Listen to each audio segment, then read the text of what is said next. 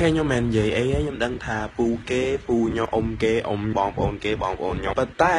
ល្មមចោលទម្លាប់នឹងបានហើយដែលថាជិះតាមផ្លូវខាក់ស្ដោះនឹងជំរឿសាច់រឿងវាចេះខ្ញុំកំពុងជិះម៉ូតូតាមផ្លូវហើយខ្ញុំក៏ជិះធម្មតាទៅ you know ស្ដាប់ចម្រៀងគិតលេងលេងថាទៅដល់កន្លែងហ្នឹងត្រូវហក់វាយមាននឹងរបៀបម៉េចស្រាប់ខ្ញុំពងជិះជិះមានពូមួយគាត់ជិះវ៉ាខ្ញុំអារឿងហ្នឹងវាធម្មតាថាទៅគាត់វ៉ាផុតខ្ញុំបន្តិចទេគាត់ងាកក្រោយហើយគាត់ធ្វើចេះ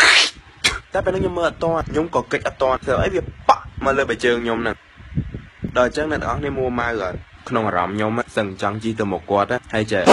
ប៉ុន្តែខ្ញុំអត់ខ្ញុំសុកចិត្តជីហួសគាត់វិញទៅហើយរឿងហ្នឹងមិនមែនតែខ្ញុំទៅទៅជួបខ្ញុំជឿថាអ្នកទាំងអស់គ្នាអត់ដែលអត់ធ្លាប់ជួបរឿងហ្នឹងពូជីវ៉ាខ្ញុំណាទៅគៀននៅ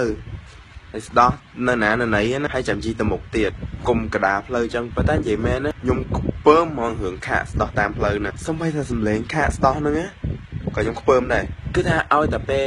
ខ្ញុំនៅក្នុងផ្ទះចឹងហើយខ្ញុំឮសំឡេងខាកស្ដោះនៅក្រៅចឹងក៏វាប៉ះពាល់អារម្មណ៍ដែរ